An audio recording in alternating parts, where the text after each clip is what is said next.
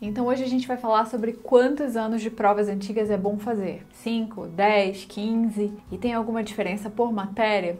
E por onde começar? Pelas mais recentes ou pelas mais antigas? Tudo isso a gente vai responder hoje. Sabe aquele branco na hora da prova? Ele é causado pelo estresse. E sabia que com ele você pode esquecer o estudo de um ano inteiro? Agora imagina chegar na prova com calma, concentração e ter o melhor desempenho possível. Como? Descubra num pause. Serão 30 dias de áudios guiados e histórias inspiradoras.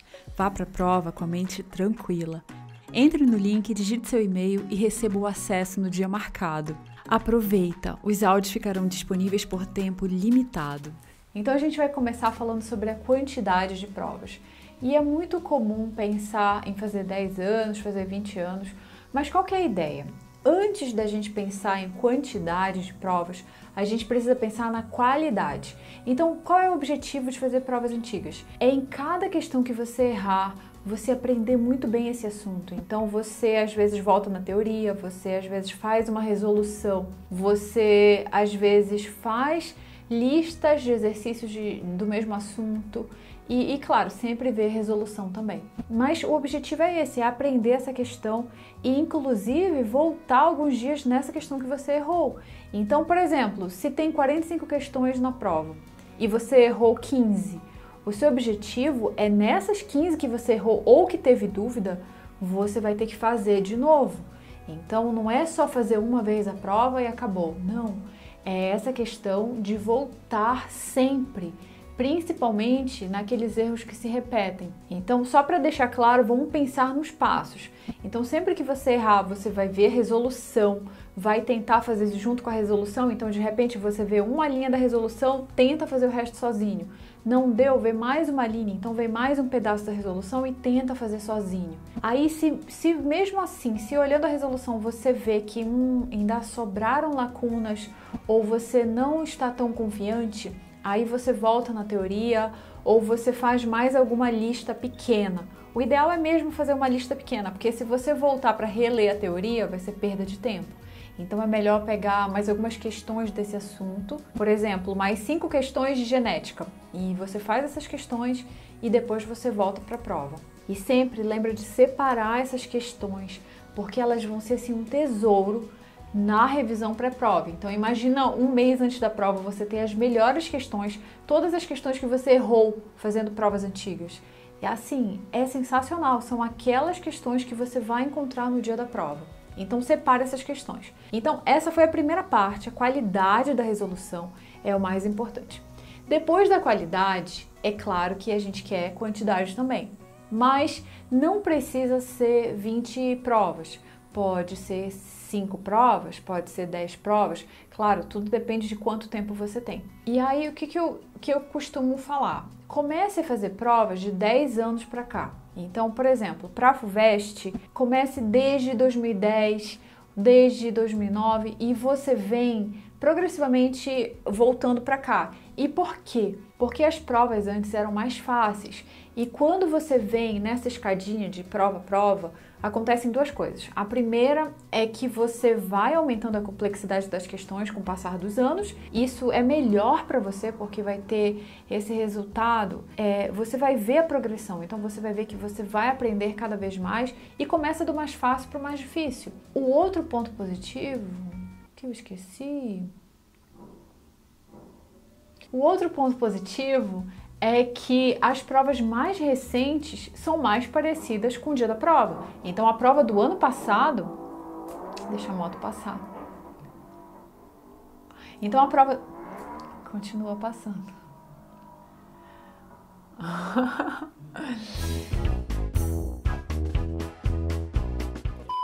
Então a prova do ano passado é mais parecida com a prova desse ano do que a prova de 2010, por exemplo e você vai deixar para fazê-la um pouquinho antes da prova. Então, assim, um mês antes da prova, por exemplo. Por isso, comece pelas mais antigas e venha progressivamente para as mais recentes. Isso vale para o Enem também, isso vale para a FUVEST, Unicamp, para o ITA. Então comece das mais antigas. E aí, claro, não precisa começar de 30 anos atrás, de 20 anos atrás, começa de 10 anos atrás e volta. Porque se por acaso você não conseguir fazer Aí você precisa pular poucas, então precisa pular da sétima para a terceira, enfim, e não da vigésima para a décima, certo? Enfim, deixa, volta de 10 para cá. E se depois você vê que tá conseguindo fazer, então, por exemplo, falta só a prova do ano passado, aí sim você vai nas mais antigas. Por exemplo, da FUVEST mesmo, da prova que você for fazer. E aí, por exemplo, uma dica para quem vai fazer a FUVEST é a Federal do Rio Grande do Sul, que tem questões mais ou menos parecidas, que são ótimas para treinar também. E para quem faz ITA, então você vai ter Olimpíada, você vai ter prova do IME, você vai ter os 40 anos de ITA. Então as questões do ITA não acabam. E, gente, tudo isso vocês podem organizar no planner de provas antigas do Resumove. Então tá lá bonitinho para vocês colocarem qual é a prova que você vai fazer, quando e de qual matéria. Então baixem com o link aí na descrição. Então nós falamos do número de provas e da ordem de resolução. Agora, será que tem alguma diferença por matéria? Então, se você pensar nas provas de história, de geografia de 15 anos atrás, será que elas são tão parecidas com as de hoje? E a verdade é que não.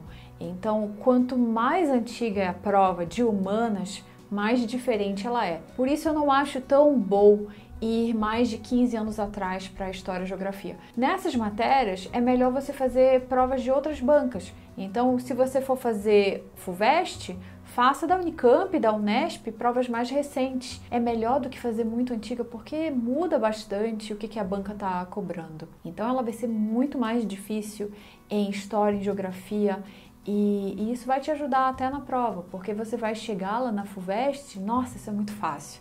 Então é exatamente essa sensação, porque realmente a Unesp pega mais pesado em humanas. E já é o contrário em exatas. Então as exatas da FUVEST são bem mais difíceis do que da Unesp. E aí é outra ideia se você vai fazer Unesp.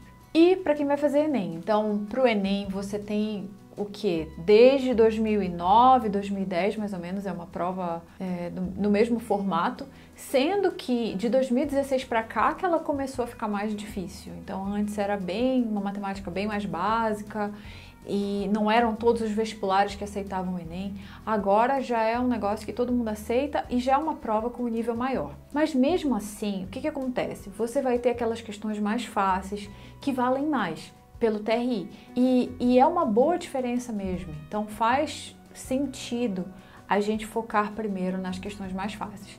Por isso eu ainda acho uma ótima ideia voltar desde 2009, 2010 e fazer essas provas de trás para frente. Só que como você tem o Enem PPL, você pode fazer os dois. Então, por exemplo, você faz o Enem 2013 e o Enem 2013 PPL, depois o Enem 2014 e 2014 PPL. E assim você vem vindo até a prova do ano passado, mais o 2018 PPL. Então, vamos resumir tudo que a gente falou hoje. Primeira coisa, o mais importante não é a quantidade de provas, mais importante vai ser você aprender cada questão que errar. E eu sei que isso é difícil de aceitar, porque a gente quer progredir, a gente quer fazer todas as provas, só que não. É mais importante ir com calma. E em cada questão que você errar, o que, que você errou aqui? Analisa, aprende direito e volta na teoria se precisar, faz uma outra lista, faz um mapa mental desse assunto, então investiga mesmo. Eu lembro que eu errava muito, por exemplo, genética, e, e era enrolado para mim, que enfim.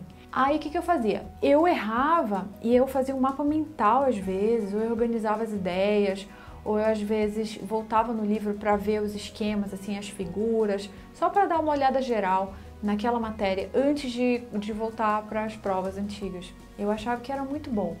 Então, sempre vão ser aqueles três passos. Então, primeiro, resolução. Segundo, vai ser ver a teoria de novo, assim, ver por alto, meio que nas figuras, e fazer umas duas questões desse assunto. E o terceiro passo, que é super importante, é separar para refazer. Então, você vai refazer essa questão que você errar. Porque não adianta nada. Você nada não é, mas não adianta muito você errar a questão, ver ali a resolução, mas nunca mais fazer, porque o que vai fixar na sua memória é repetição.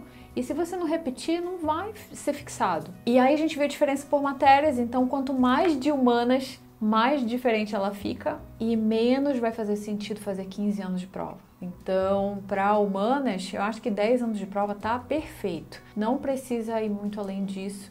Biologia dá um pouco mais. Então, biologia até você pode fazer 15 anos, mesmo que seja um pouco diferente. Então, as provas mais recentes são mais difíceis. E aí, eu acho que é melhor pensar até 15 anos no máximo e usar provas paralelas, provas parecidas, como da Unicamp, da Unesp, da Federal do Rio Grande do Sul. Já para exatas, você pode fazer 20 anos de provas, não tem problema. Pode sim. Eu acho que a diferença não é tão grande que justifique não fazer. Mas, claro, sempre pensando naquela questão: primeiro 5 anos ou 10 anos de provas e depois você vai mais atrás, certo?